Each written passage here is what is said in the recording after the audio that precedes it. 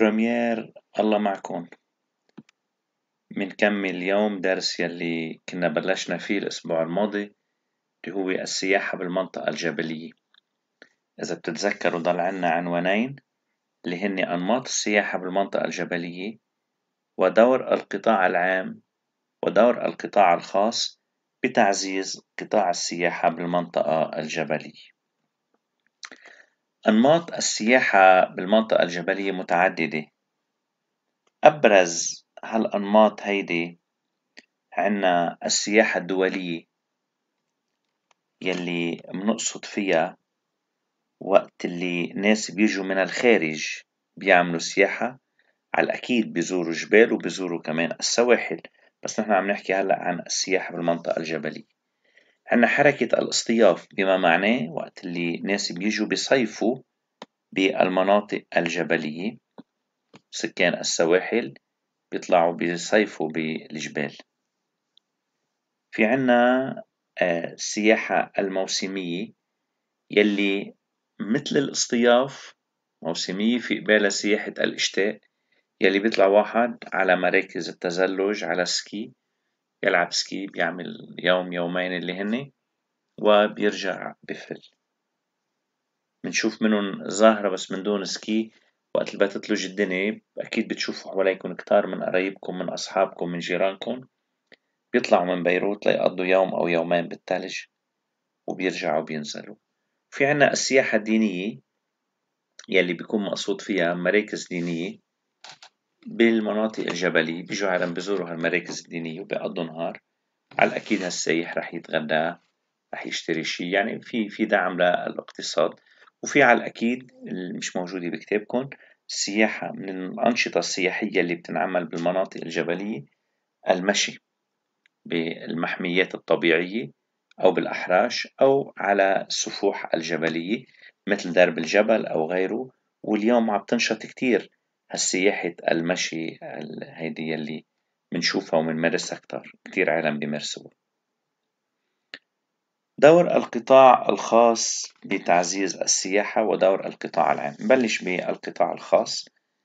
القطاع الخاص أكيد بتعرفوا سبق وحكينا شو الفرق بيناتهم. القطاع العام هو الدولة والقطاع الخاص هن الأفراد والشركات والمؤسسات. أكيد القطاع الخاص بيلعب دور كتير كبير من خلال استثمار أمواله بهالمجال السياحي. آه وهي تشجع الاستثمار بالسياحة يشجع. يعني المتمول يلي عم يستثمر بالسياحة بدناش نشكره لأنه أرباحها مضاعفة وبتعرفوا سبق وحكينا إنه الأرباح بالمجال السياحي مثل بكل مجالات الخدمات أكثر بكتير من الأرباح بالمجال الزراعي أو الصناعي. كمان القطاع الخاص ممكن ينظم مهرجانات وبتعرفوا خلال الصيف وبالشتاء أحيانا معظم البلدات الجبلية بالصيف عم تعمل مهرجانات. بيجيبوا فنانين من لبنان ومن الخارج وهذا بيعزز الحركة السياحية.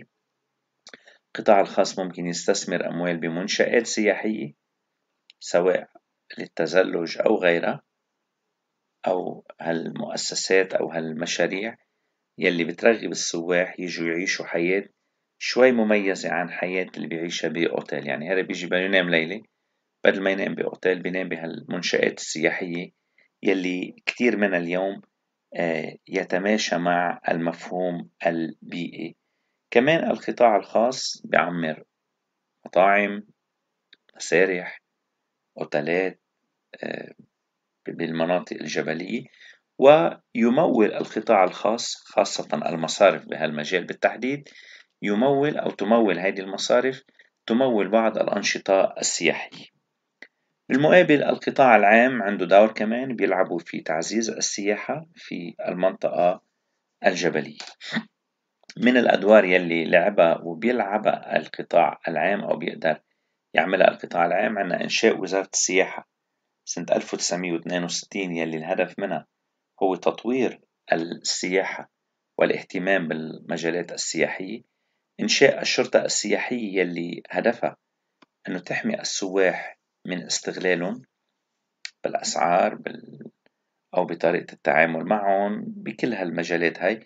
هو الشرطة تابعين لقوى الأمن الداخلي يعنوا مسؤولية هالجهاز أن يعتني ويهتم للسواح خاصة السواح الأجانب لمنع استغلالهم. القطاع العام ممكن يسهل القروض للقطاع السياحي من خلال كفالات أو غير آه، أنشطة غير مؤسسات مصرفية رسمية. آه، القطاع العام بيعمل معاهد سياحية.